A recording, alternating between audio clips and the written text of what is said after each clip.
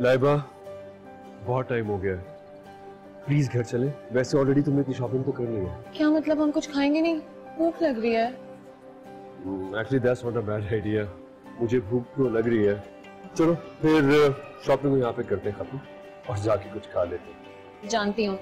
मैंने तुम्हारा बहुत खर्चा करा दिया ना। इसीलिए तुम ये सारे बहाने कर रहे हो। नहीं बात बहाने की नहीं है। एक्चुअली तुम्हें आदत है रैंडम शॉपिंग करने की। और मुझे प्लानिंग अच्छी लगती है। तुम्हारी ये बात मेरी पर्सनैलिटी से बिल्कुल अपोजिट है। And to be honest generally मुझे फजूल खर्च लोग ज़्यादा पसंद नहीं है। देन आई थिंक तुम्हें अपनी आदत और पसंद दोनों बदल लेनी चाहिए। क्योंकि मैं तो किसी के हिसाब से अपने आप को चेंज नहीं कर सकती। और ये वाहिद बात है जो हम दोनों में कॉमन है। क्योंकि ना तो तुम अपने आप को क्लियरली चेंज कर सकती हो और ना ही मैं कर सकता हूँ। इट्स गुड ना तुम्हें मुझसे तवक्को होनी चाहिए ना ही मुझे तुमसे। क्या मतलब है?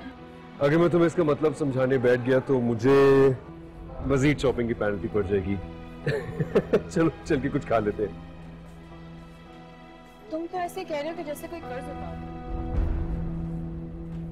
If you want to watch more and get updated, so follow AIY Digital's YouTube page.